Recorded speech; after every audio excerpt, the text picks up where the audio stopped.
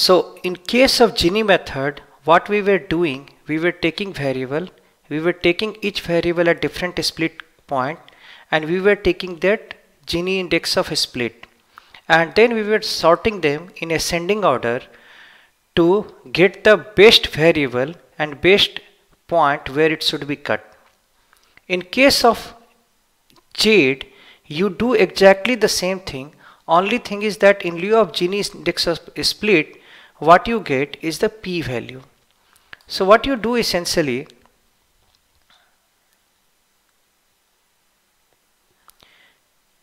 what you do essentially, you select that variable based split which is having the smallest p-value. This will ensure the best separation of population where dependent variable is 1 versus where dependent variable is 0 right? So when the dependent variable is categorical using this p-value smallest p-value you are providing the best separation. And then you repeat the same process for each of the node. So that's how the CHAID operations work. So what is the difference between CHAID and CART the CHAID uses p-value from a significant stage to measure the desirability of a split where CART uses the reduction of an impurity right? I mean if you think of what we were going for we were going for Gini index of a split and the smallest value of Gini index of a split means the smallest impurity.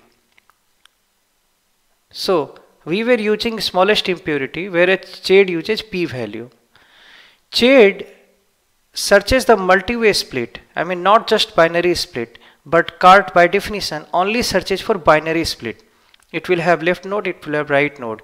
Whereas CHAID actually can have you know probably three nodes in one place, one, two, three kind of. Whereas CART has to have only binary node.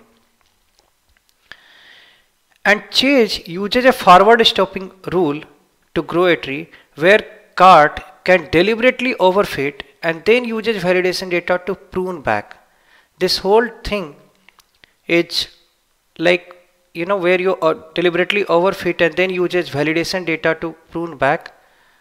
That is more of a CART technique than the CHAID. CHAID uses a forward stopping rule very much the way like you defined rule of thumb that will go till this level and all those things.